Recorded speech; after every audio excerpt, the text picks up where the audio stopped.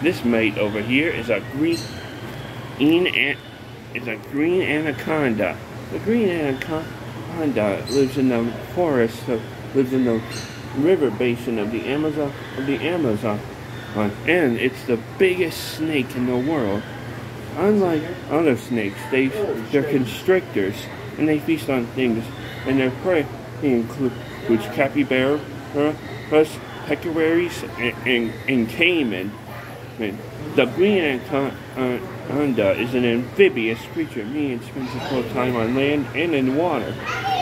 And the green anaconda was the main focus for for the for, for the movie that had Jennifer Lopez as an oh, as an ice cube. The anaconda, which uh, more sequel.